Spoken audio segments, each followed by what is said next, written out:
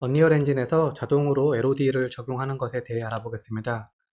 조금 복잡한 구조물은 3D Max에서 직접 LOD mesh를 만드는 것이 낫겠지만 이렇게 바위처럼 한 덩어리로 만들어진 mesh는 Unreal 엔진에서 자동 LOD를 만들어도 꽤 괜찮은 결과물을 볼 수 있습니다. 일단 LOD를 적용할 mesh를 선택해서 컨트롤 알파벳 E키를 눌러서 static mesh editor를 열고요.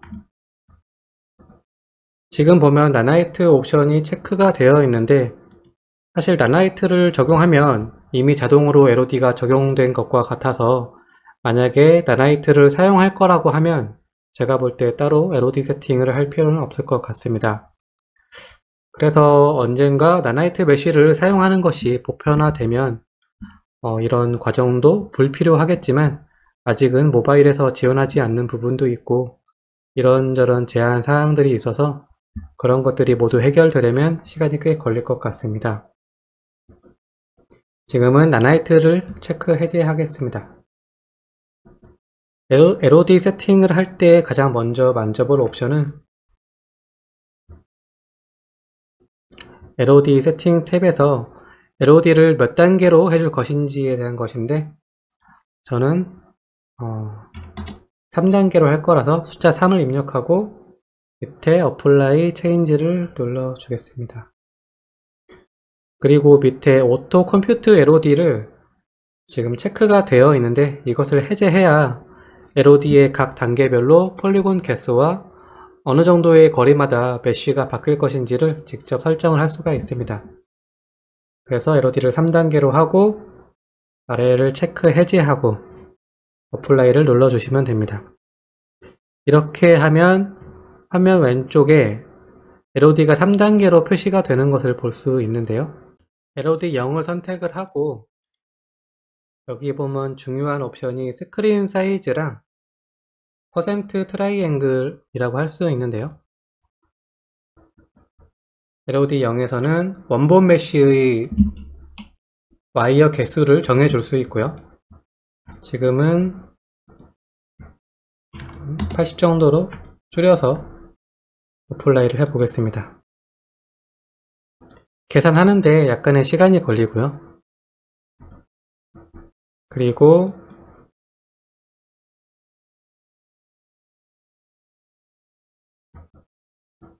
그리고 LOD 두 번째 단계에서는 screen size 옵션이 중요해지는데 예를 들어서 0.7로 입력을 하면은 화면 왼쪽 위에 보면은 current screen size가 나오는데 이것이 0.7보다 작아지면은 LOD 두 번째 단계로 넘어간다는 이야기입니다. 보통 다른 엔진에서는 거리에 따라서 mesh가 바뀌는 LOD를 하기도 하는데 Unreal 엔진에서는 화면상에 보이는 mesh의 사이즈에 따라서 LOD를 적용시킬 수 있습니다. 그리고 밑에서 polygon 개수가 LOD 0에 비해서 55를 입력하면 LOD 0보다 50% 절반 정도의 polygon count를 만들 수 있고 만약에 10을 입력을 하면은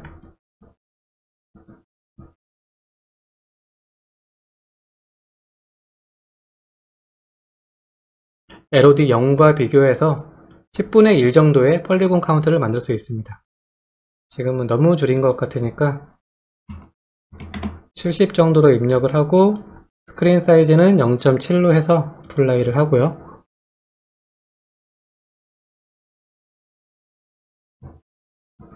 그리고 LOD 세 번째 단계를 선택을 하고 screen size는 0.5 정도로 하고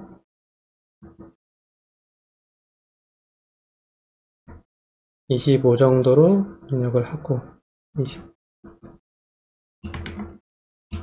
30 정도 입력을 하고 apply를 해 보겠습니다.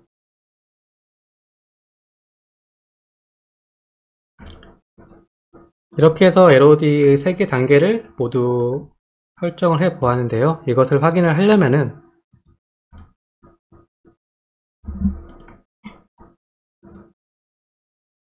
시각적으로 확인하기 좋은 방법은 이렇게 해주면은 회색은 LOD 0 단계이고 이게 0.7보다 화면 왼쪽 위에 current 스크린 사이즈가 나오는데 이것이 0.7보다 작아지면 은 LOD 두 번째 단계로 넘어가고요. 그리고 아까 LOD2를 0.5로 입력을 했으니까 current 스크린 사이즈가 0.5보다 작아지면 LOD 세 번째 단계로 바뀌게 됩니다. 그래서 이 거리를 색깔로 쉽게 구분을 할 수 있고 이게 보면서 조금 더 멀어졌을 때 바뀌기를 원하면은 다시 LOD 세 번째를 누르고 0.3을 입력을 하시면은 왼쪽 위에 current screen size가 0.3보다 작아졌을 때 LOD가 세 번째 단계로 바뀌는 것을 볼 수 있습니다.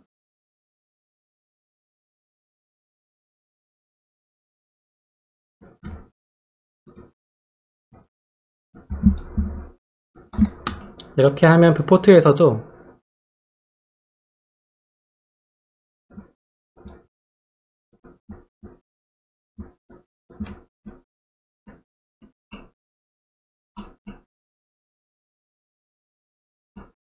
잘 보이지는 않지만 LOD가 적용이 되고 있는 거고요. 이렇게 잘 안 보이게 만드는 게 사실 좋은 LOD고 너무 눈에 안 띄는 것 같다 싶으면은 조금 더 과감하게 설정을 해 볼 수도 있습니다. 예를 들어서 LOD 2단계를 0.7로 했었는데 0.85 정도로 하면은 아주 근접일 때만 LOD 0단계가 보이고 조금만 멀어져도 LOD 2단계로 바뀌게, 바뀌게 이렇게 해줄 수가 있고요. 그리고 폴리곤 카운트도 과감하게 50 정도로 해주고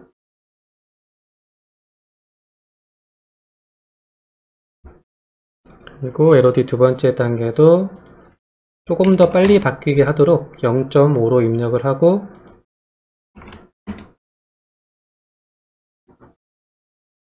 폴리곤 카운트도 원본 메쉬의 5분의 1 정도로 설정을 해 보겠습니다. 이렇게 하면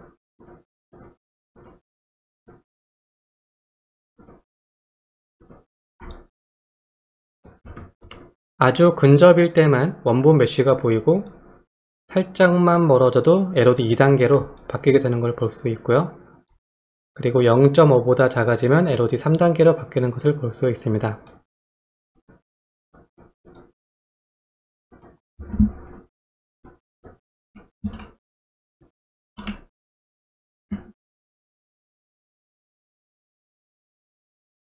이렇게 해서 LOD를 적용하는 것을 알아봤고 그리고 mesh가 지금 충돌이 안 되고 있는데 엔진에서 자동으로 충돌 mesh를 만드는 옵션이 있어서 가장 쉽게 충돌 mesh를 만드는 방법은 검색창에 col을 입력하고 충돌 mesh 옵션에서 맨 아래 거를 선택하면은 좀 정교한 충돌 메쉬를 만들 수 있고요.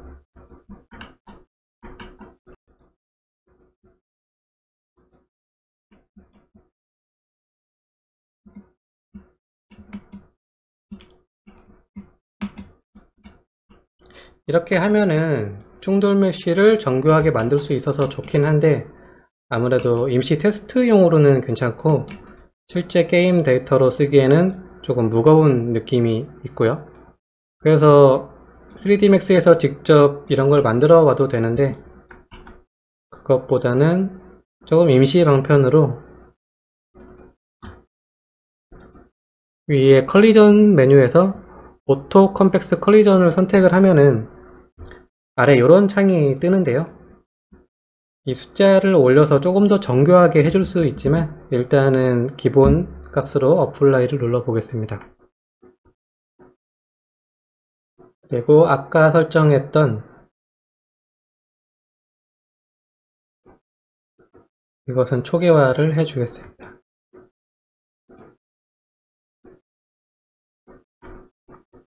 이렇게 하면은 어느 정도 단순하지만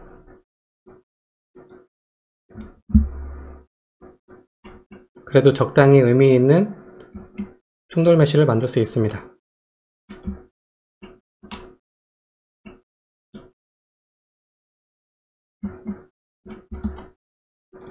조금 정교하게 하고 싶다면 이 숫자를 늘리면 될 것 같은데요.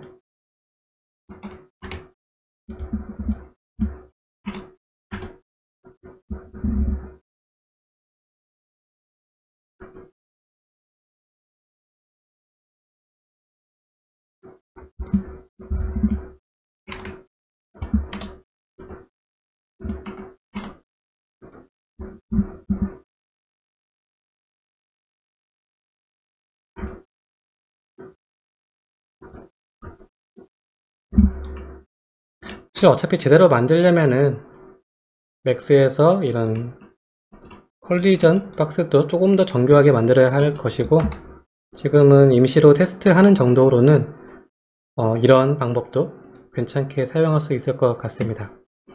이렇게 해서 엔진에서 자동으로 LOD를 만드는 거랑 그리고 자동으로 충돌 메쉬를 만드는 방법에 대해서 알아봤습니다.